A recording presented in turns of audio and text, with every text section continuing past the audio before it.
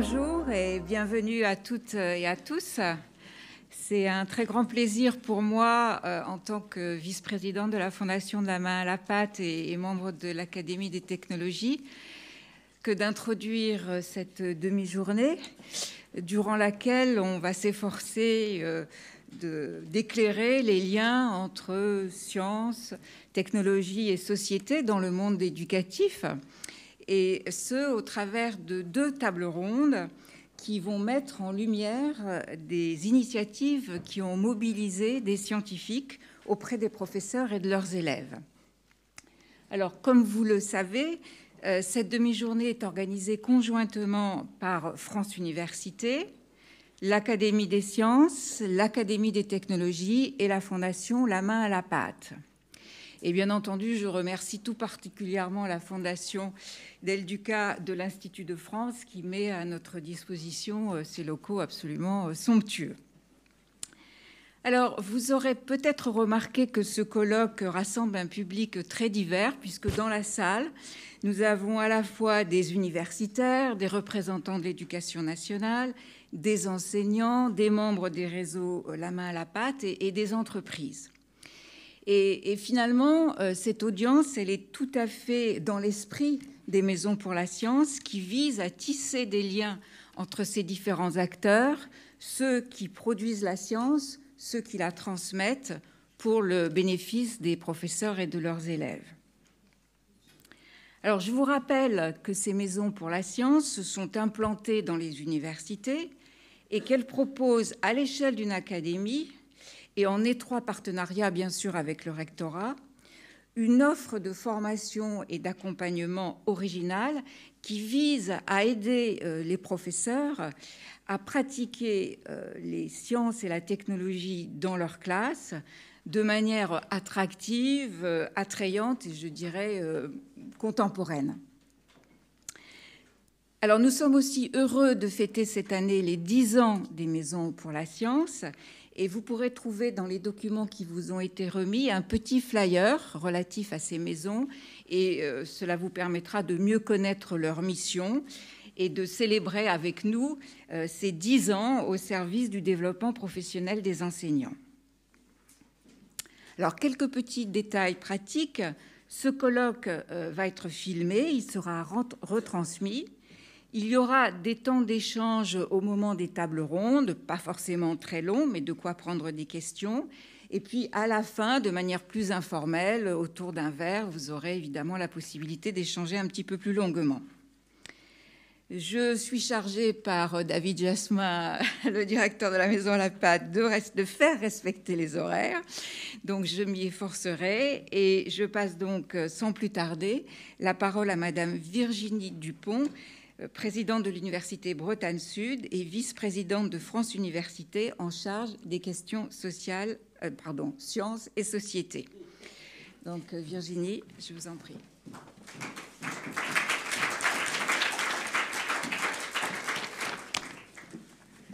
Merci beaucoup pour cette introduction.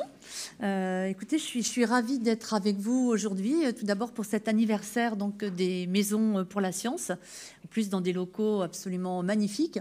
On devait d'ailleurs y venir euh, un peu plus tôt, voilà, un contretemps nous y a empêché, mais écoutez, juste un peu avant la fin de l'année, là, je trouve que l'occasion est, magnifique.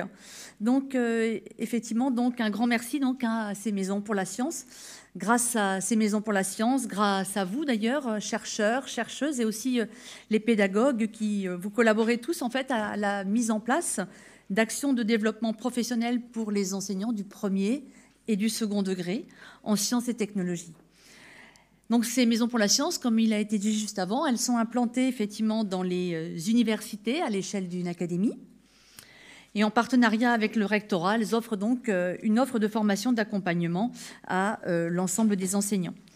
Depuis la rentrée 2022, euh, le ministère de l'Éducation nationale et de la jeunesse, ainsi que le ministère de l'Enseignement supérieur et de la Recherche, ont mis en place un plan de formation continue des enseignants pour les primaires en sciences et en sciences et technologies, tout ça afin de répondre au mieux aux besoins des élèves. Donc ces sujets de la formation continue, mais aussi initiale des professeurs du second et du premier degré, nous mobilisent particulièrement à France Université. Ce sont des sujets qui nous semblent donc absolument essentiels. En effet, on constate aujourd'hui un déficit d'attractivité des métiers, mal-être des enseignants, un affaiblissement de la confiance dans notre système éducatif. Les liens entre l'école avec un grand E et l'université doivent donc être réaffirmés. Il nous faut réactiver le cercle vertueux dans lequel de bons élèves deviennent de bons étudiants et eux-mêmes deviennent de bons enseignants. Car c'est à l'université que les professeurs sont et doivent rester formés. Mais il nous faut aussi impulser une dynamique en faveur d'un grand plan école et société, comme nous l'avons fait d'ailleurs pour sciences et société. Et une journée comme celle d'aujourd'hui participe pleinement, effectivement, à préparer et à réaliser, en tout cas à participer à la préparation d'un plan. Des actions entre écoles et universités existent déjà. Tout le monde connaît euh, la fête de la science, mais il y en a beaucoup d'autres. Quelques mots effectivement sur ces fêtes de la science, donc hein, où on peut euh, y trouver une transmission des savoirs scientifiques, des résultats de la recherche, mais aussi de la transmission du goût pour faire de la recherche. Et on les trouve dans de nombreux supports, euh, effectivement, euh, aussi bien donc des bandes dessinées, des clips, des différentes actions. Les universités, du coup, dans le cadre de la fête de la science, tous les ans, elles ouvrent leurs portes et accueillent des publics scolaires au cœur de leurs laboratoires et de leurs amphithéâtres. Et effectivement, en fonction des établissements, ça va des plus petites classes jusqu'aux plus grandes. Moi, je suis convaincue, en tout cas personnellement, que plus on les y amène petits, plus on peut faire très vite naître le goût donc euh, vers euh, les sciences. Réciproquement, l'action en milieu scolaire constitue aussi l'une des cibles privilégiées de la médiation scientifique. Il s'agit par exemple de la contribution d'universitaires ou de doctorants à des actions conduites par des associations. Je prendrai l'exemple de Passeport Recherche de l'Université de Nantes, Test qui peut, Université de Toulouse-Jean Jaurès, apprenti chercheur à l'Université d'Angers, mais aussi une dernière, Univers La Cité à l'Université de Montpellier. Mais il en existe encore plein d'autres que je ne cite pas aujourd'hui. Certains projets ciblent plus particulièrement les quartiers relevant de la politique de la ville et puis aussi avec des actions plus particulières vers les jeunes filles. Ainsi, il existe des écoles d'été et des projets Sciences pour toutes et pour tous qu'on va retrouver à l'Université Paris-Saclay, ou encore l'exposition Les filles, oser les sciences. Et je, suis convaincue. Je suis chimiste en plus, donc euh, ça me parle. Et donc ça, euh, une opération qui a lieu à l'université d'Alsace, mais on pourrait très bien effectivement euh, la développer à plein d'endroits. Il faudrait que on s'imprègne de ces pratiques qui existent dans d'autres universités. Mais quand on cible des publics particuliers, au final, c'est à tout le monde que l'on s'adresse, et c'est donc une dynamique vertueuse. Citons également les actions de formation des personnels enseignants du premier comme du second degré, et on pourra noter celle du dispositif Mère et Éducation de l'Université de Bretagne occidentale. Et du coup, j'aurai un petit pensée, vous l'aurez également par euh, le président qui nous a quittés euh, hier. Ou encore les mallettes mérites de l'Université de Nantes.